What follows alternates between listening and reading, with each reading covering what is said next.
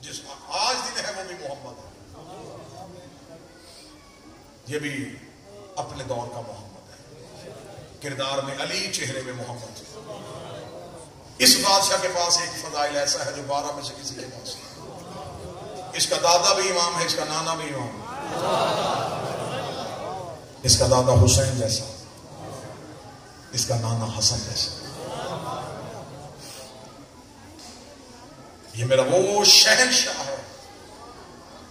اگر مجھے سرگودا علمی شہر ہے، تیس سیکنڈ دو امام میں باکر پڑھنے کے لیے، اور کوئی بندہ اگر تیس سیکنڈ میں سرکار امام باکر کی پوری فضیلت پڑھ دے، اور وقت میرے پاس تیس سیکنڈ، تو میں اس تیس سیکنڈ کے ساتھ انصاف کیا کروں گا؟ یہ میں سرگودا میں کرتا ہوں۔ ایک فضیلت سرکار باکر علوم کی، جو پوری دنیا میں چھا جائے گی۔ اس شہنشاہ کو باکر کہتے ہیں۔ جس کے شگرد کو جعفر صادق کہتے بیٹھا ہی جس کا شگرد جعفر صادق اس استاد کو محمد باکر کہتے ہیں۔ کائنات کے ہر فرقے کا امام، تمہیں امام صادق کے قدموں میں اور یہ امام تمہیں امام باکر کے قدموں میں رسول۔ رسول علم کا شہر، علی دروازہ۔ شہر بھی بند، دروازہ بھی بند۔ جس نے علم کے سینے کو پھاڑا، اسے سرکار باکر کہتے ہیں پھاڑ دینے جو علم کے سینے کو پھاڑے۔ اور اس سینے کو پھاڑ کے جو علم کی نہر نکالے، اسے جعفر کہتے ہیں۔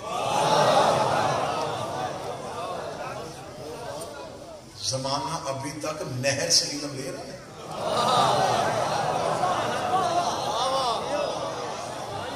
یہ جتنے علوم ہیں، چاہے کیمسٹری ہے، چاہے فزکس ہے، چاہے ریاضی ہے، چاہے الجبرا ہے، یہ بھی صرف نہر میں دکھے۔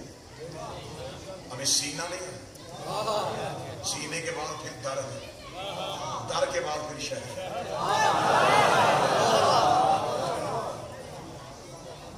جو علی کی ولایت کا انکار کرتا ہے، وہ بارہویں کا ظہور نہ مانگا کرے۔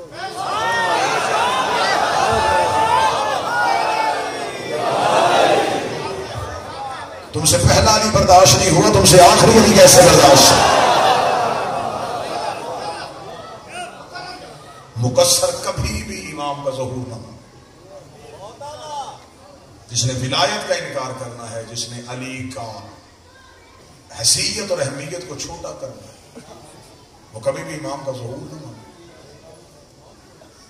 اگر علی کی اہمیت کو کم کرنا ہے، پھر گردن تیار کر امام کی تلوار پہ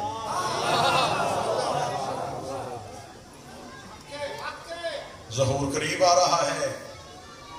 امتحان سخت ہو علامات ظہور میں سے ایک علامت ہے۔ ایسے لوگ ہمارے عقیدے سے ہٹے گے جیسے خزاں میں درخت خالی ہوتی۔ جیسے خزاں میں پتے جھڑتے ہیں۔ ایسے لوگ ہماری ولایت کو چھوڑ چھوڑ کے پائے کہیں دنیا، کہیں دھمکی، کہیں لالچ، کہیں خوف، کہیں موت، کہیں ڈر، کہیں بکس میری خطابت کی ابتدائیہ ہے اس مادر سے آپ سے دعا لی، پھر پوری دنیا میں پڑھا۔ یہ ہاتھ مان کے کہنا۔ زندگی میں کبھی علی کی ولایت کو نہ چھوڑ۔ ذاتی کام کے لیے میں ہاتھ جوڑوں، میرے لیے موت۔ علی کے لیے جوڑوں، میرے لیے عزت۔ زندگی میں علی بنوں۔ ولایت علی پہ سمجھوتا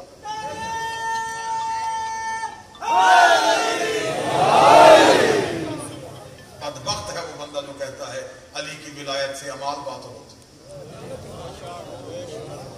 میرا کپڑا وہ چیز نجس کرے گی جو خود نجس ہوگی۔ پاک چیز تو میرے لباس کو نجس نہیں کر سکتی۔ نجس ہی پاک کو نجس کرے۔ علی کی ولایت امال کو تب باطل کرتی اگر علی کی ولایت باطل ہوتی۔ یا تو ضرورت کر لکھ کے علی کی ولایت باطل ہے۔ تو نے لکھا ہے کہ علی ولی اللہ حق۔ تو پھر حق کے آنے سے کوئی چیز باطل نہیں۔ دو ہزار انیس ہے، بچے کو پریشان کیا ہوا ہے۔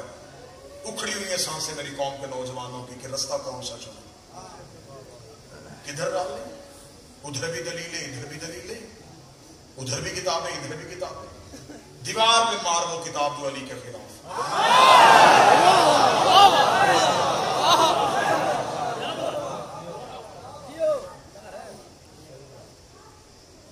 میں ایک چھوٹی سی دلیل دے دی واجب ہے کہ مستحب ہے، اسی پہ بحث ہو جائے یعنی سر بولتا ہے تو پھر اگر ماحول بنے تو میں اس سوال کا ہمیشہ کر کے گلا نہ دوں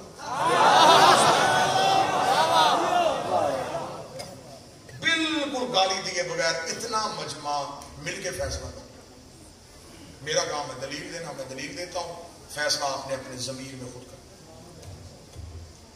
واجب ہے علی ولی اللہ کے مستحب اس میں بحث۔ بحث اس پہ ہے جی۔ آؤ پہلے پوچھو واجب کی تعریف۔ واجب اس عمل کو کہتے ہیں جس کے چھوڑنے سے عذاب۔ مستحب اس عمل کو کہتے ہیں جو چھوڑا بھی جائے، عذاب نہ بچا لایا جائے تو نیکیوں میں عذاب بچے خاموش ہوئے نے سمجھا دیتا ہوں فجر کی نماز کی واجب رکعتیں دو ہیں۔ یہ دو چھوڑو گے تو عذاب نوافل جتنے پڑھو گے یہ مستحب۔ نوافل چھوڑ بھی دیے تو عذاب نہیں۔ مستحب۔ پڑھ دیے تو اجر۔ مستحب اسے کہتے ہیں جس کے پڑھنے میں اجر ہو، چھوڑنے میں عذاب کوئی نہ ہو۔ علی گن ولی اللہ مستحب تھا تو غدیر میں حارس پہ عذاب ہوا کیوں آئے بول سکتا ہوں تو بول لینا۔ جس کا ہاتھ آئی کے لیے اٹھ سکتا۔ ہوں